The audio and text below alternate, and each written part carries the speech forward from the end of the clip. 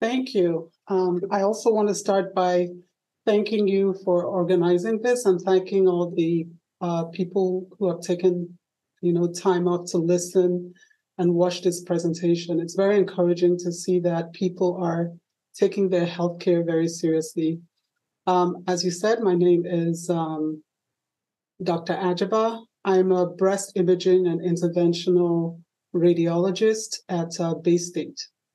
All right, so today the topic is um, recalls in uh, mammography. And uh, pretty much what I want you to get out of uh, this brief talk is the importance of breast cancer screening for women, um, when to start uh, breast cancer screening, and if you're called back, you know, to answer questions about what does it mean, and obviously um, to take some of the anxiety away if that happens. First of all, I'll talk about the importance of screening. Um, so, breast cancer is diagnosed um, about 13 in 13% of women in their lifetime. That's a really high percentage. This is the most common cancer in women. So it's very important that we take this very seriously. You know, fortunately, um, a lot of extensive research has been done, and um, which shows that mammography significantly reduces the mortality, and that is the death rate from cancer, and also the morbidity. And what do I mean by morbidity? I, I mean that um, the effects of having breast cancer, the surgery, how much surgery you will have, and all the uh, treatment that could be really difficult. Um, breast cancer screening not only helps to find it, it also helps to find it early so that the effects of treatment are much, much less. And I want to emphasize that in breast cancer survival, early diagnosis is the key. You want to catch it early.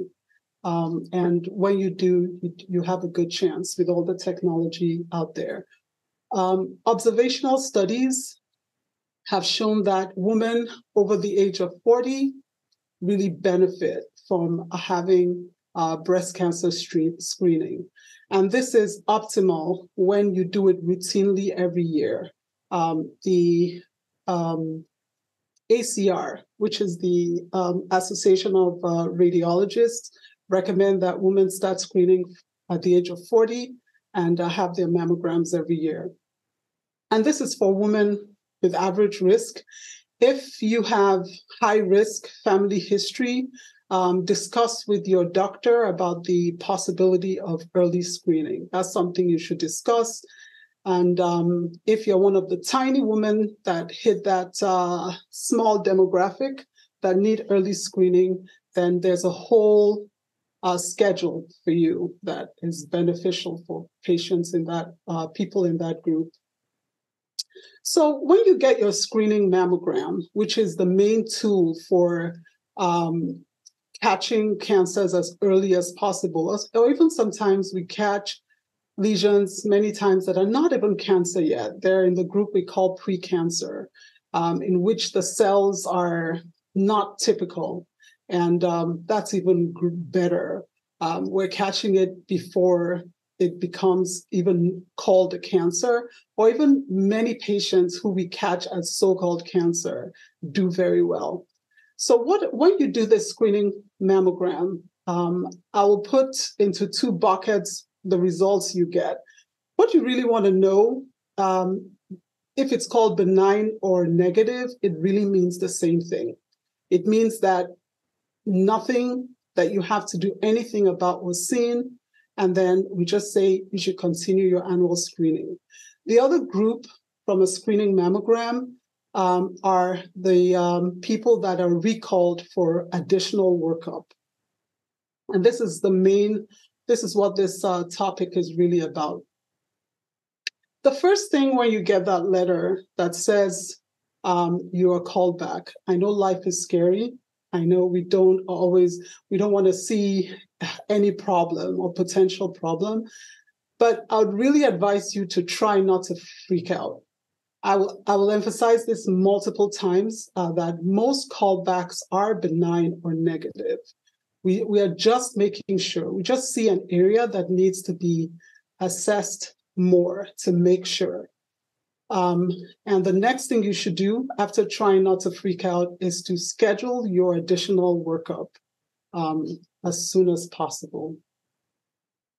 Um, callback anxiety is a thing, um, just by, like anxiety to many things. Um, um, that cannot be prevented. For some people, especially, it can be um, very troubling. Hopefully, when you schedule your appointment, um, uh, you know, and get it in a timely fashion, you can get it over with and put it behind you. First of all, I want to say that feeling a little anxiety with callback is normal. A lot of women go through that. And um, as I said again, and I will repeat many times, um, the changes that we're seeing or what we're seeing on the mammogram um, are most of the time not cancer. Okay. Or they're, they are a finding that is not life threatening. If you uh, have anxiety and your callback appointments is um, a few days off, um, it could be helpful to talk to people. You can talk to loved ones. Um, don't keep it all bottled up inside. Um, you can talk to your provider or a counselor. Your provider is a good bet because they'll kind of tell you about um, what you expect and probably say what I've just uh, been repeating several times. Um, talking to other people, especially your provider or counselor or you know, someone who you know who has gone through the process. A lot of people have gone through the process of being called back. Um, as a last, as a last resort, um, the American Cancer Society does have a phone line, um, which I mean you can Google, and um, it's there's always somebody to give you some support, but hopefully you get an appointment sooner than later. So the next um, answer, the next thing that I'll be discussing is why were you called back? Um, there are different reasons, but um, I've pulled up, I've written here the main reasons why you're called back. Sometimes it's technical reasons, you know, the pictures weren't clear. I mean, we know that a lot of people, um, mammography entails you being pulled in and compressed. Sometimes um, we as radiologists, we assess the picture. Is this picture adequate? Does this include the whole breast tissue? We are trying to rule out cancer. We want you to move on for the rest of the year and be confident that there is nothing there. So we look and make sure that the study is adequate and that the study is diagnostic. That means that it's good enough to rule out any finding. Sometimes we just see an area that looks different from uh, your uh, past mammograms um, because we look very carefully and compare with prior mammograms, and we're looking for subtle changes. And if we see this, um, we call you back just to make sure. And this, this may be that the breast wasn't compressed as much as the last time, or it was positioned a little differently. So when you come back, we'll just do some uh, extra images to resolve this. And then also, there are sometimes when there's a real finding um, that could potentially be suspicious. Uh, it could be specks of calcium, which is a mineral that we have in our bones and teeth, which is one of the things we look for that are increasing to show us a sign of um, if there's a possibility of really early cancer. But if calcifications are mostly benign, but we call you back to, to really look at those, to magnify those calcifications and decide what to do with them. Or it might be a mass. And most masses even are benign. Some people feel, some people hear the word mass and think it's scary. On a mammogram, a cyst is described as a mass, and a cyst does not really mean anything. And even if it's described as a solid mass, there are tons of benign solid masses. All right, so what do you expect on the day of your callback? Okay, so on the day of your callback, you you, um, you had done your screening mammogram. Most of the time, not all of the time, we do repeat a mammogram. And this now we call a diagnostic mammogram. And this mammogram is just to, uh, to really um, address the particular um, issue that we had with the prior mammogram. This could be to compress that area out to see it better. Um, it could be to magnify that area to see it better. And then we carefully evaluate um, the study. While you do this, why when you come for this callback, when the um, unlike in your screening, when the technologist takes the image, she will show the radiologist. The radiologist will evaluate it and see what else needs to be done because um, the radiologist wants to resolve everything before you go. Um, sometimes you will have an additional ultrasound, uh, sometimes a mammogram, and then that's all. And sometimes you go straight to ultrasound, depending on what it looks like. Uh, ultrasound, unlike mammography that uses X rays, it uses sound waves and there isn't the compression, so it's um, better tolerated. And um, the ultrasound will further evaluate the, the lesion seen on mammography. Sometimes we also want to look at ultrasound to confirm that there's nothing there, or we see a lesion, and then with ultrasound, we can determine if it's a cyst or if it's solid or what to do with it. Um, after all the images have been evaluated, um, you most of the time will be um, given the results of your test before you go home, which um, that is really good because you've been holding all that uh, unknown before coming there. And then what um, are the re- okay? Just before I talk about the results, um, as many of you know, uh, I don't know if we have some people who haven't started mammograms. As I said, mammography, you use an X ray to uh, go through tissue and get pictures. And with ultrasound, you use sound waves to look at. Um, those are the two main modalities. Uh, we do have some other modalities, but that's what it entails most of the time.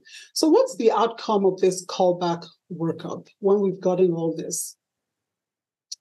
Um, it's either we find out that the area that was suspicious, um, we call it suspicious because that's just how we um, uh, we call we we that particular area. That's how we describe it. The area of concern, I'll say. Um, most of the time, it turns out to be nothing. Um, there's nothing to to worry about, and then you return back to your scheduled screening. The other thing that can happen is that it's probably nothing, but we are so set on catching cancer as early as possible. So we don't mean to scare you, but our main focus is to get that cancer before it becomes a problem. Um, and so there are some times when we're like, this looks like nothing, um, but it doesn't go away altogether.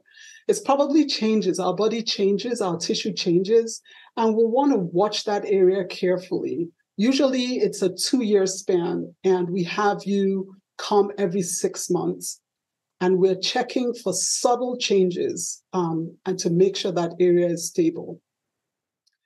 If this is the results you get, do not be freaked out. Um, as I said, most of this um, um, um follow ups are benign, very, very, very little chance of cancer. If we suspect there's cancer in the breast, we do a biopsy. We don't start following things because that is um, all we're there for um, to try and, as I said, catch cancers as quick as possible. And we take that very seriously. Very rarely, you need more than an ultrasound and a mammogram. Um, and many times that's because you have a, um, maybe an additional finding. And um, we just want to make sure. And that's usually an MRI. Um, that is done extremely rarely most patients will come and will resolve whatever question with a mammogram and an ultrasound. So um, the other group is that we ha- we don't say that we don't see nothing to say that you should and advise you to go back to routine annual screening. Um, it doesn't look like it's most likely nothing, and but we just want to follow it. We actually see a finding, and we um, want to pursue that. We want to make sure that whatever finding is benign. And the next step will be to have a breast biopsy. most breast biopsies are benign. We err on the side of caution a lot. Um, we don't mean to scare people, but we just believe that as as um, the the advantage of catching cancers very early, where they're not a problem, where you have a small surgery, put it behind you, and go back to screening, is so important that um, we, if we, if something, if we have a finding that persists, um, and uh, it's not clearly looking like nothing, we go ahead and biopsy it. And what does a biopsy mean? A biopsy means that you will come back and as radiologists, we do image guided biopsies. What that means is that we use imaging, either mammography or ultrasound or MRI, to guide us to the area to biopsy. And we take tiny little strips of tissue. We're not taking out the lesion, we are just finding out what it is. So we take tiny little strips of tissue, send it to the pathologist.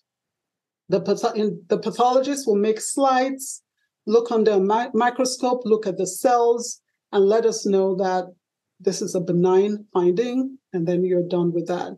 Or rarely they can say, this is not cancer, but the cells here are not normal. And many times we just go and take those, that, those cells out. We don't want to leave them in the breast. And uh, even more rarely, it is actually uh, um, a malignancy, and then we send you for surgery uh, to have that area taken out, the lesion taken out. Um, so this anxiety that you get from recall, I mean, we get anxiety from every medical test that is impacting. But in the grand scheme of things, the anxiety that you get from a recall or being told you have a biopsy, uh, compared to the significant reduction in breast cancer deaths from screening and early diagnosis, I think it's better to have uh, us really evaluate your breast and make sure everything is okay. The anxiety that you feel, that um, patients feel from uh, being recalled and being told they will biopsy, um, although it's not enjoyable, it does resolve uh, after you get your results. I have uh, patients really, really happy um, and doesn't you don't have any lasting side effect from that. So this is just a diagram to show you how rare that is. Um, about 10% of patients would be recalled, and the patients that eventually get to have a biopsy um, is rare. For you, you it'll be a 1.2% chance uh, that you end up um, getting a, a biopsy. And another two percent uh, chance that you will be followed, which is which is um, it's inconvenient to come for six months for two years. But as I said, in the grand scheme of things, you should think about the fact that um, we are trying to um, catch something really early, and if it's caught very early, the impact is um, is is very very uh, important for for you.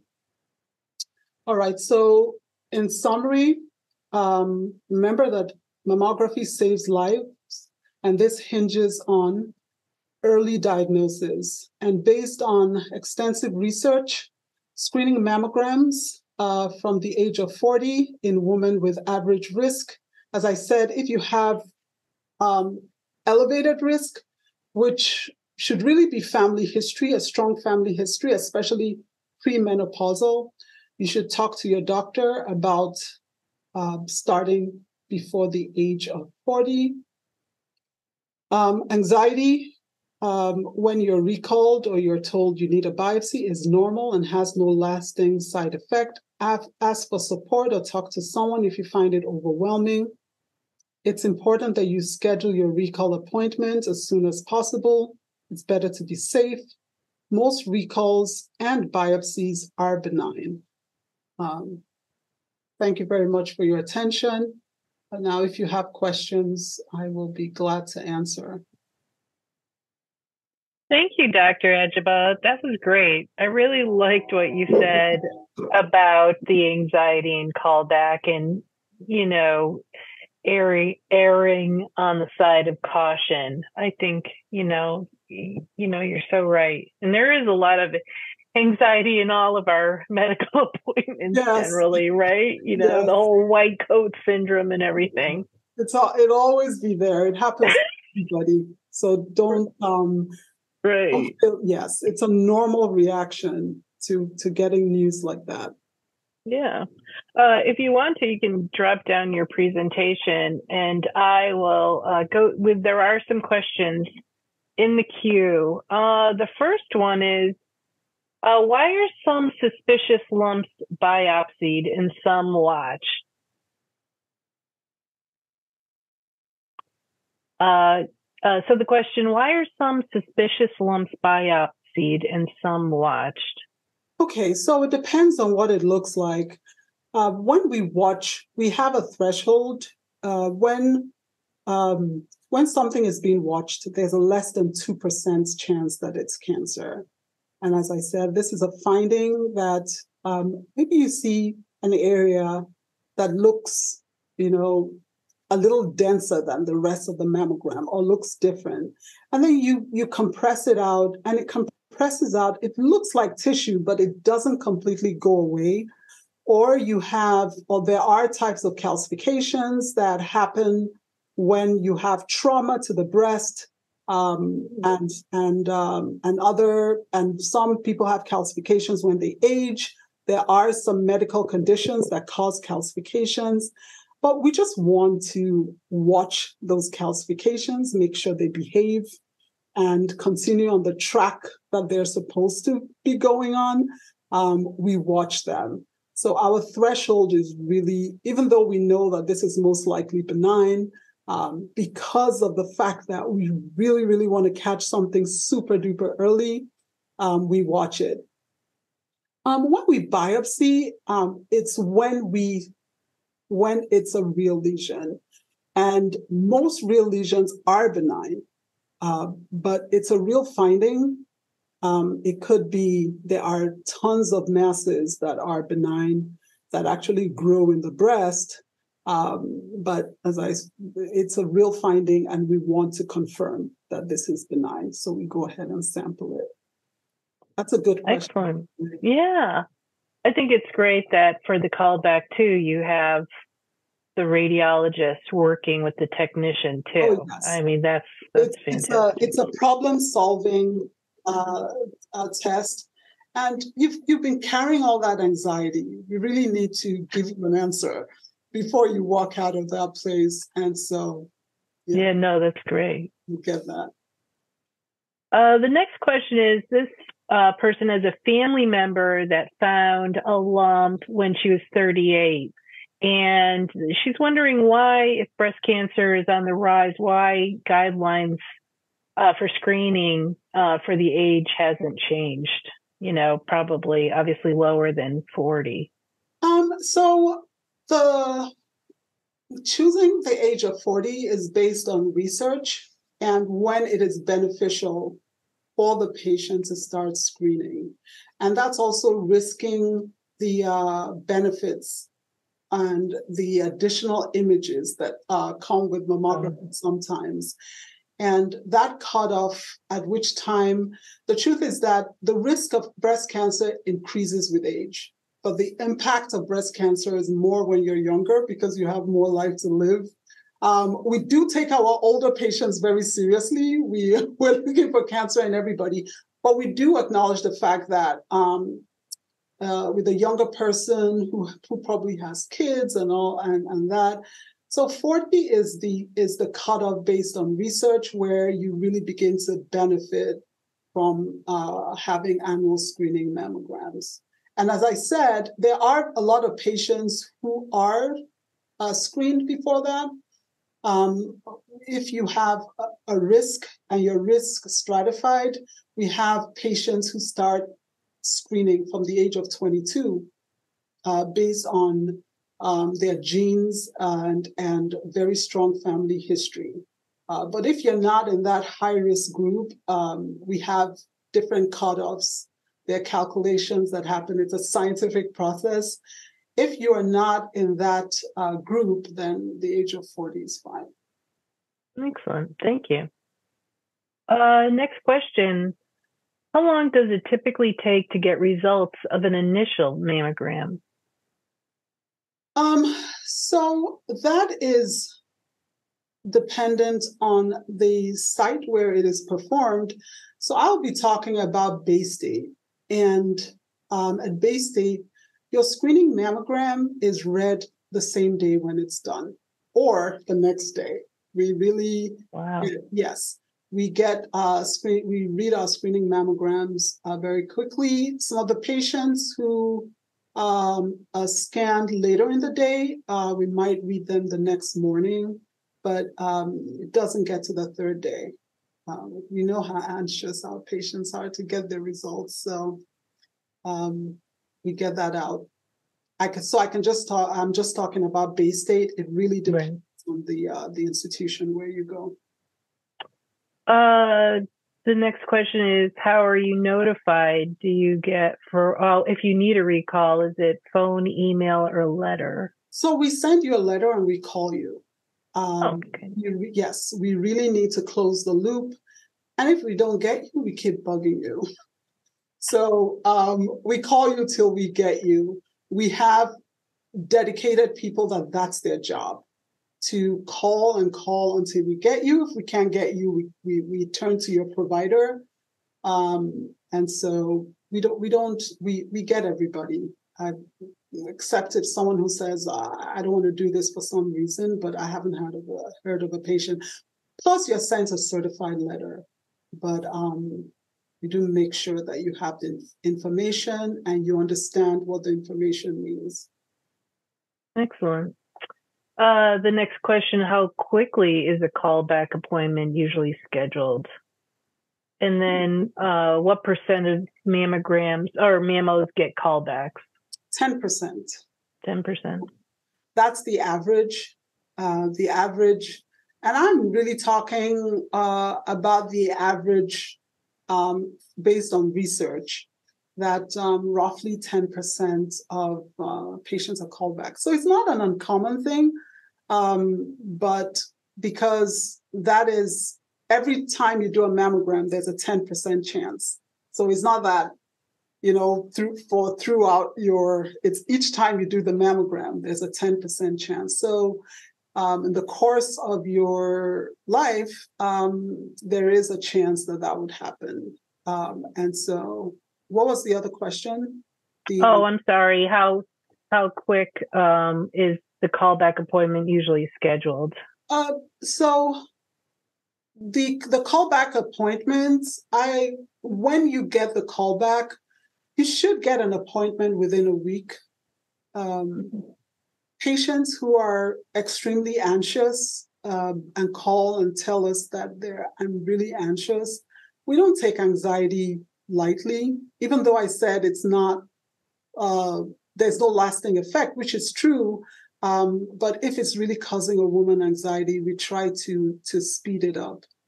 And the rare patients who we find really suspicious findings, we bring them in immediately. We Excellent. call them and bring them very quickly if it looks um, a very, very small percentage of patients that we're a little, little more worried about. We bring them, um, but if not, you should get a, an appointment within a week or two to come back and do that follow up, which is um, is fine. Two weeks is is fine. Great, thank you. Okay, next question. Uh, can you explain dense breast tissues and does this lead to possible cancer? Okay. All right. I will gladly do that. So um, mammography, which is the the mainstay of breast cancer screening, um, uses um, radiation going through the breast and taking pictures. So the pictures that we're seeing, we're trying to parse out lesions within your breast tissue. The denser you are, the main effect of being dense is um, very dense breast limits mammography. So that is the main um, limiting factor with mammography, your breast density. I didn't really go into that because this wasn't a screening talk, um, and that's why. Oh, okay. But uh, yeah, for screening mammography, um, the dense breast, and you will get a letter um, that tells you that your breast is dense. Um, we group the breast into four groups of density. Um, the two um, extremes of density are what we call dense breasts. And um, we tell you that is limited, and you do have the option of adding another modality with your screening. Um, there are states where I know there are some states where it's easier to get insurance to cover it, like Connecticut and uh, New York. Um, so that's something that you should consider the main additional modality that we do is uh, is a is an ultrasound to kind of like offset that uh, density that you have. Excellent. Thank you for answering that. Uh, the next question How magnified are the mammograms when you look at them to determine whether or not something doesn't look benign? Um, it depends on what we're doing. It depends on if it's um, if it's a screening mammogram, it's not magnified. It's the breast tissue. And that's important. Uh, we don't magnify it because we don't want to distort what we're seeing with the screening mammogram. The screening mammogram is just to look and to find a finding. It's not really, and um, it's not really to diagnose it. If there's a finding, that's what your um, callback is is um, for. Now, when you're called back, we do do special mammograms, and that um, one of them it's a magnification view where um, can be magnified three or four times, and that's because we're blowing up the picture to to look at it to determine if it's one of those benign calcifications like a vascular calcification or skin, cal- which are all you know the normal aging process that we, we will all go through um, we really want to magnify and look at it carefully. So that's when we're magnifying. Um, we do, um, most people do now, our screening mammograms are done 3D, which actually has improved uh, from what we used to do uh, with screening mammograms, especially for dense breasts.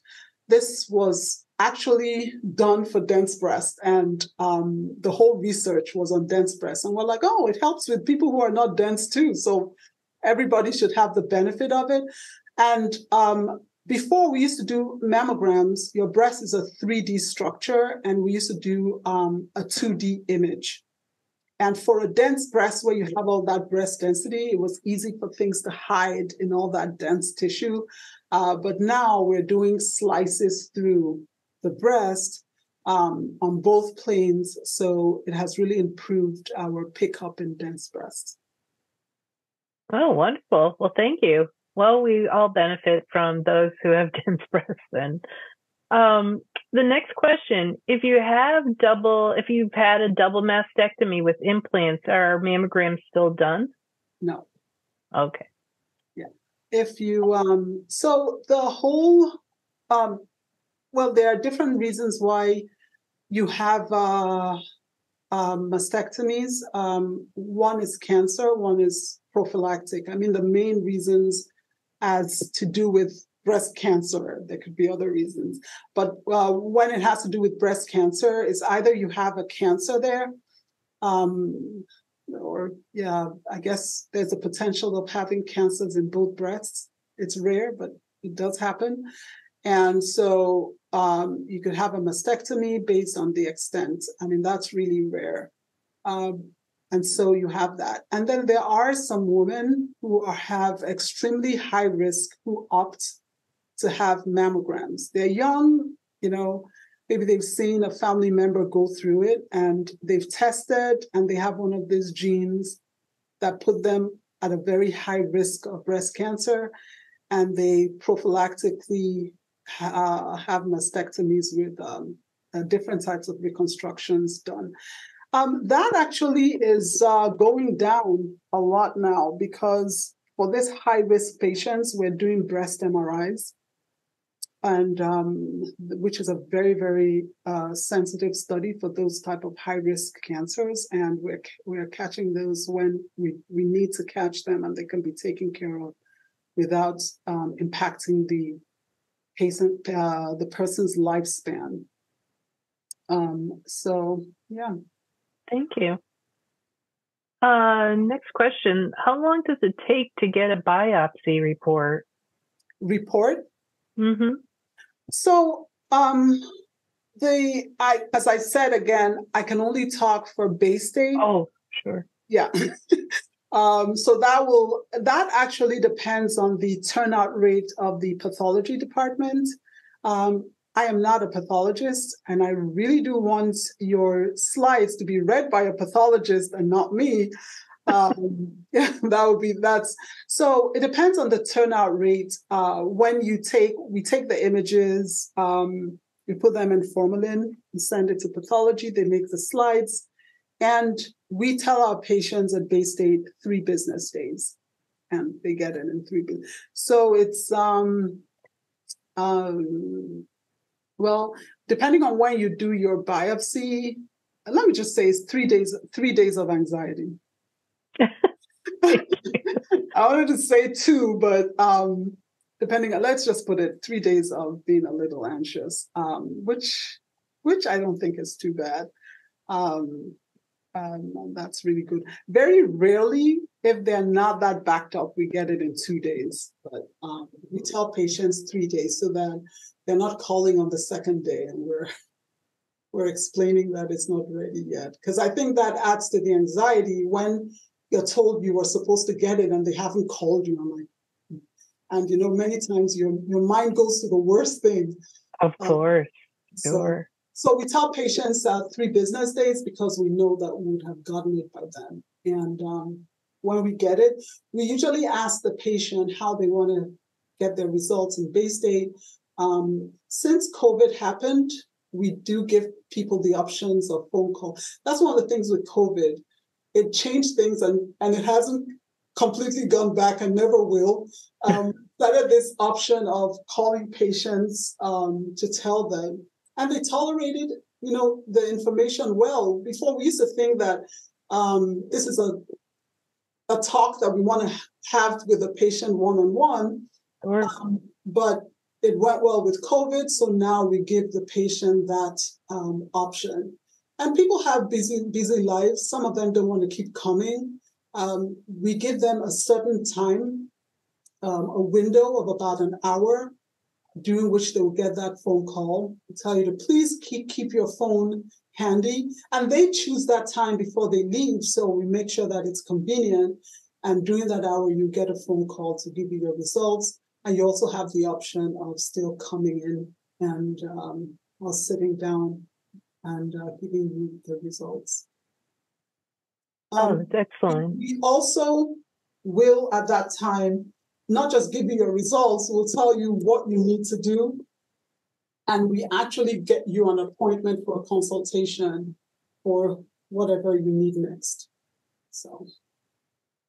Well, I applaud you for your work. Um, helping women through the, the anxiety and being speedy about results and reviewing um, the um, the mammogram at the callback and so forth. So thank you for always being available for those callbacks. Um, it looks like we're uh, at the end of our questions. If anyone else, um, we'll just give it another beat. But I want to thank you Dr. Ajegba, for your time and the presentation tonight and for our audience for the great questions.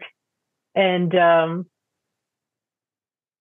oh, uh, oh, well, we have one last question. um, the question is how often are men screened for cancer? Men? Men, yes, are men screened for cancer? So we only, we only screen men for cancer if they are susceptible to cancer. Um, we just said women have, well, I don't know if you remember, but I said women have a 13% chance. Uh, for men, it's 1%. And um, nobody is screened for every single thing they can have. Like, um, there are many things that many people have a 1% chance of having. We don't go about, otherwise, you just spend your whole life screening for every little thing. You, you screen for anything that can happen to your eyes, everything that can happen to your throat. So we don't do that. Um, we screen based on you know, the percentage of people who have it. That's where medicine is at. Maybe in the future there'll be a way to like do make sure every single thing about you is checked for. And the rate of breast cancer in men is really low. There are other things they screen for. They screen their prostates, and because that has a higher chance of, of um, giving them a problem. Um, we do screen men who have a high risk for breast cancer. Um, one of the gene mutations, um, you might have had a BRCA. Uh, there are different BRCAs, and BRCA2 does happen in men and cause breast cancer.